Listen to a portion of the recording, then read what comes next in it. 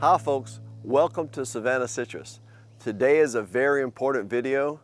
Today, I want to talk to you about measuring your citrus fruit.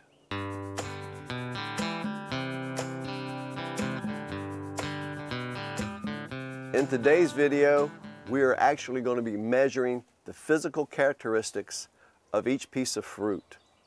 This is a really clever tool. Uh, this is a field tool, a set of calipers that's going to tell us within really close how many pieces of fruit will go in a particular size box for shipping and sales. We've already measured the sugar content of the fruit in a previous video, the Brix video. This is the size of the fruits. This tool is a graduated scale based on the Florida scale.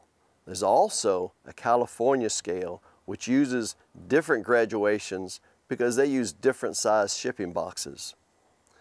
This scale starts off very small, measuring the tangerines. Uh, tangerines come in cases of like 200, 150, 100 per case. It measures the orange sizes, it measures grapefruit sizes, numbers like 48, 36, 27 per case it's really important in the field that I get to know what size fruit I'm dealing with so that I know approximately what my yield is going to be at the end of harvest season.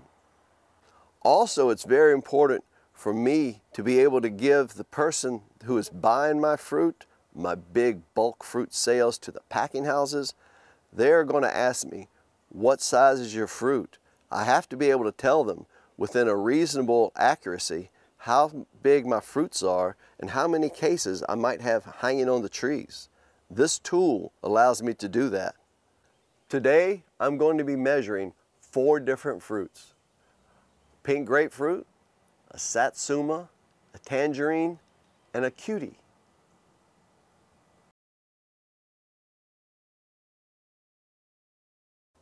Starting with the grapefruit,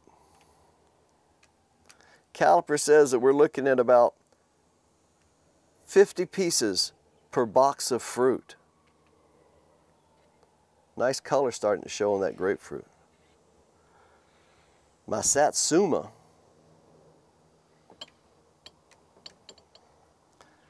Satsuma's looking at about 80 pieces per box on the Satsuma. The tangerine, tangerine is measuring, let's say 150. That's about where our tangerine's coming. And the cutie,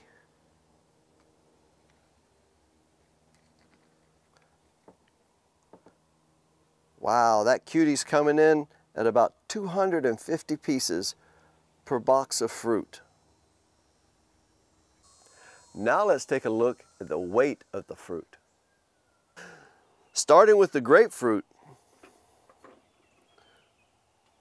we've got about 10 and a half, almost 11 ounces right now.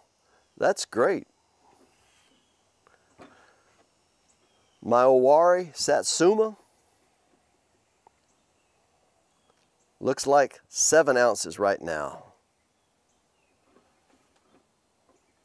The tangerine, just starting to show a little color. Tangerine looks like four ounces.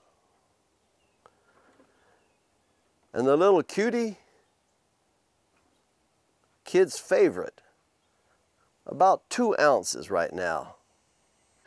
Starting with the grapefruit.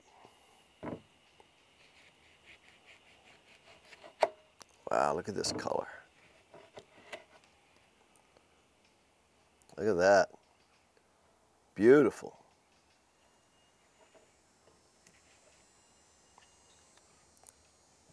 Here's our Satsuma.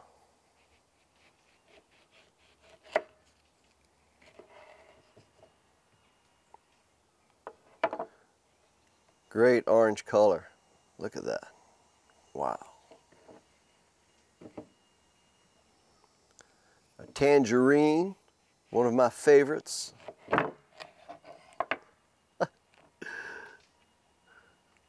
Nice color starting to show on the inside of the tangerine there. And our cutie.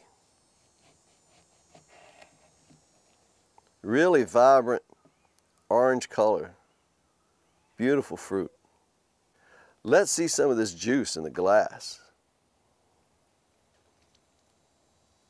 Oh yeah.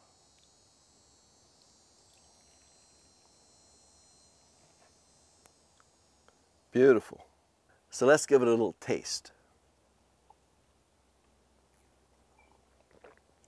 Wow, that's delicious. That's really delicious. Oh man, you're gonna love this. I am so excited about this fruit. It looks beautiful. It tastes great. You know, you work hard all year long to try to produce a great crop, and you never know until harvest season what you're really going to get. This is a great season for citrus, and it's only going to get better. I want to thank all of my viewers for watching these videos. I'm so glad we are on this journey together. We're going to grow some beautiful fruit. If you enjoyed today's video, remember to hit like, subscribe to our YouTube channel, or follow us on Rumble. Also, leave me a comment. I love to hear from you. As always, keep it fresh and keep it local.